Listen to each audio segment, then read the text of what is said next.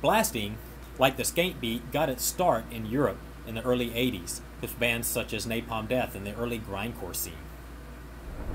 It wasn't until the blast beat made its way to the United States that we really saw it start to take the form that it's in today. Drummers like Pete Sandoval of Terrorizer at the time, later Morbid Angel, made blasting a structured beat by giving it time signature. Until then, it was just blasting for the sake of noise, a white noise kind of effect, if you will. There's four main variations of the blast beats the traditional blast, the bomb blast, hammer blast, and the freehand blast.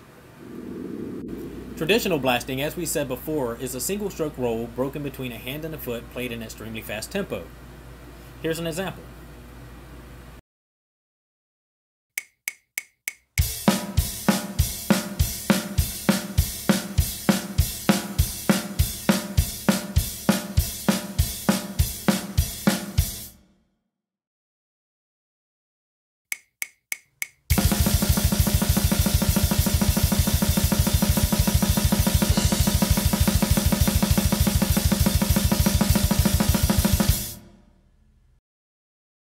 Okay, now, this is just one way a traditional blast can be played. Here's a couple of other examples.